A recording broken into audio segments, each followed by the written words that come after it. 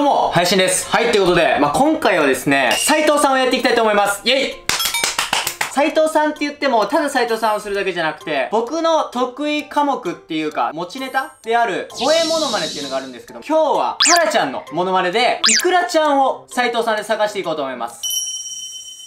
まず、タラちゃんの声真似をどれぐらいできるのかっていうのがちょっとね、お見せしたいと思うんで、ちょっと聞いてもらっていいですか？いきます。どうも、タラちゃんです。カツお兄ちゃんカツオ、マ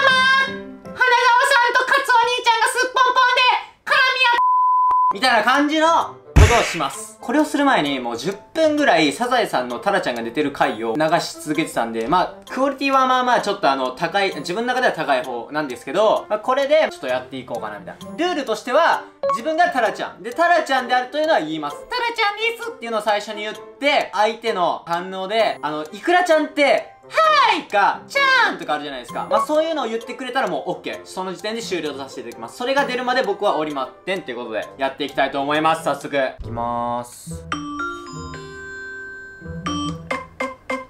タラちゃんです。もしもし、タラちゃんです。あね。男性の方が、この女性と喋ることに重きを置いてる方が多いんで、まあ、タラちゃんって男の子じゃないですか。なんで結構切られちゃうのかなと思うんですよね。まあでも、粘り強く言っていきたいと思います。どう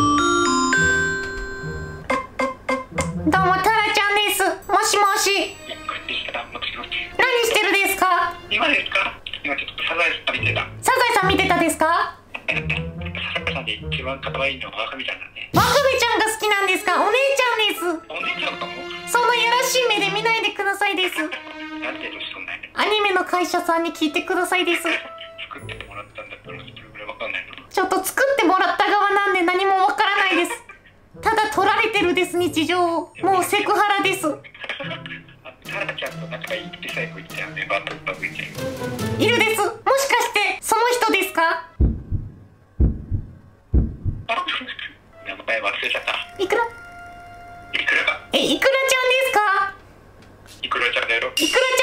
よね。いつもみたいにやってほしいです。いやいやいや、ね、もう、そんな中、こと言わないの。おい、たらお。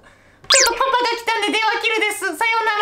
いや、これは、偽物でしょ。いくらちゃんじゃないっしょ、絶対。結局なんか、こう、時系列が違う。脳幹で。まだ続けていきたいと思います。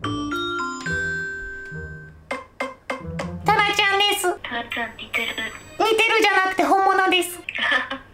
いくらちゃんはいますかいくらちゃん。はね、もうね、どっか行っちゃった。どっか、そん。な怖いこと言わないでほしいです。いくらちゃん。はね、いくらとして食べられたから。お姉ちゃん。ちょっと怖いん。で僕キルです。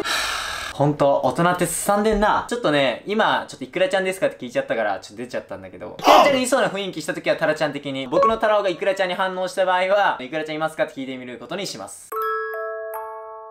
じゃあもう一回いきます。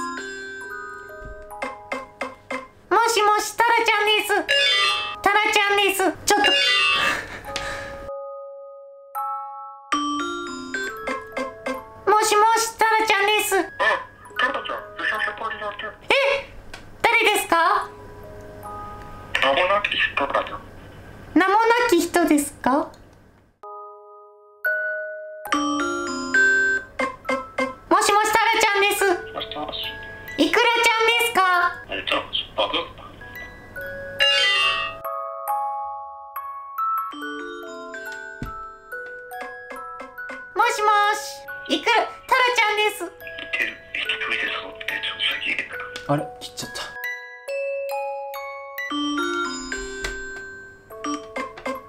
もしもしタラちゃんです。もしもしはるみです。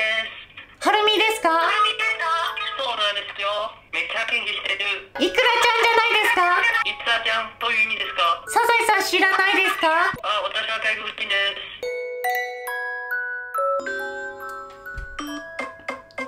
もしもしタラちゃんです。あ、どうもタラちゃんです。タラちゃんです聞きたいこと聞いていいですよあ、いいですか。僕も27歳なんですけど。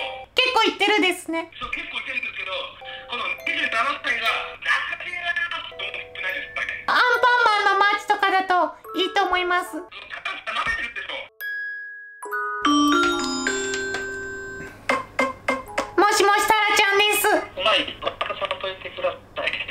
もしもしタラちゃんですはい、渡さんといてくださいの声質やったら他のモノマネもなんかやってよ。何やってほしいですか？丸尾君やってほしい。な丸尾くんちょっとマイナーすぎてできないです。じゃあねしんちゃんやってほしいな。うお、おーいほら、しんのすけだぞ